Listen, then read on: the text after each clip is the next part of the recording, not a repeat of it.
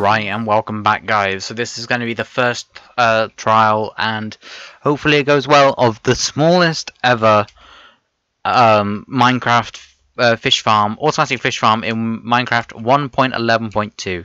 Um, the re every single block is necessary here, except from that one there, and technically this one here, the, but the reason why I have that on like that is so when I do fishing not constantly right clicking and activating the note block, even though it does sound rather lovely. I suppose you could technically start it so you can have a little song going on, but yeah, as you just saw, I picked up a fish, so it could be quite annoying quite fast, but so I keep that one as a necessary block.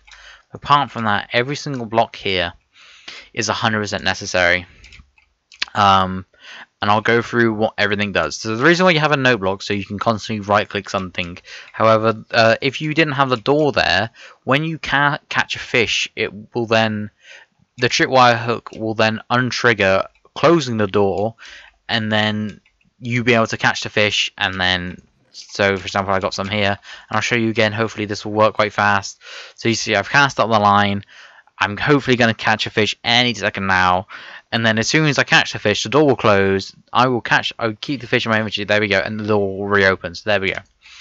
Um, so yeah, this is the smallest fish farm in Minecraft 1.11.2, and um, to it's. I understand some of you might just be copying it right now. However, I'm going to do a complete overview on how to make it. So these are the minimum amount of blocks required. So let's start off with the hopper, the chest, the slabs, the stone bricks, the tripwire hooks, the string, everything but the water. um, so let's start with the slabs and go one there and then you go chest, hopper. Oh, that is not a hopper. A hopper on top of there. That like that. And you want this on all directions but the back. And you can if you want put down the the door right there like so. So that's going to hold the water back. Then you want to put in the big stone bricks. You want to have a block back here like so. Put the piece of redstone on that. Then you want to put the tripwire hooks either side. Have the slabs on top like so and the one behind it. And then you remember have to put the note block there and that is it. And then the last thing to do for and first and foremost is to put in the water. And the most important thing some tips and tricks oh yeah the last thing I forgot to do was put the stringers. So then when I open that the door's open. And just to double check this works let's uh, do a little test here. Oh also another thing is to aim for the top. And now I'm going to go through some tips and tricks for doing this First thing, you're going to be AFKing, so remember to have it, the area that you're going to do it, either have it um, in a very known area when you know it's going to be safe, or um, have it underground. If you're going to do it underground, remember to have a uh, source block, sorry, light coming to the water source block. So a piece of glass works absolutely fine, even if it's underwater, it'll still work 100%. Um, next thing so you'll need some you'll need some tips. So when i first did this i didn't know like how to do when i was holding right click and i wanted to do some other stuff like say i wanted to edit or render just stuff to do when i'm not at the computer so or not directly using the computer. Um, f3p like so uh, pause on lost focus enabled so that's when you alt tab and your game pauses.